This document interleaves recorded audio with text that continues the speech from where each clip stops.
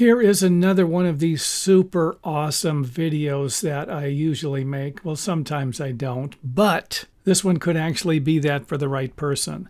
Now what I'm going to do is cut a regular stair stringer and use that as a pattern to lay out and mark the plywood that I'm going to use for my template. Now you don't need to do this. You can always lay out the plywood and I do have other videos on that. And then after you have it laid out, you've double checked all your measurements.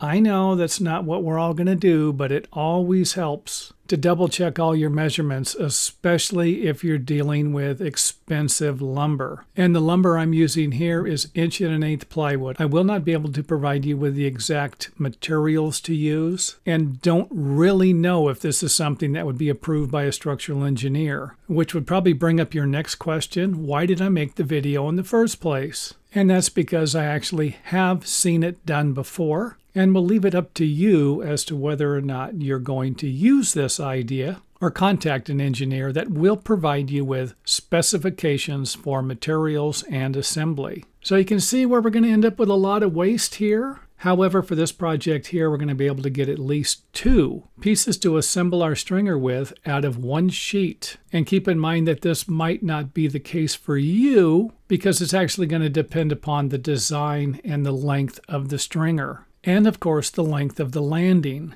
And if you need to position them a little further apart, then something like this might help. And of course, don't forget to get as creative as you need to be. Maybe you can actually get a few more of these stringer supports out of one sheet of plywood, or consider getting longer pieces of plywood if that will work for your project also. Next up, we are going to glue these pieces together. I would suggest being liberal with the glue, do not be conservative. And if it was me, I would spread the adhesive on both of the sides that I'm going to be putting together. And of course, you would repeat this process if you were going to be installing more than two of them together. And if you have clamps, I would use them clamp the heck out of these babies. And even though I only have four here, you're probably going to need a couple down here, two here, a couple here, and then a few over here. And you could always glue two of them together at a time and let them dry, and then attach the next one after the adhesive is dried.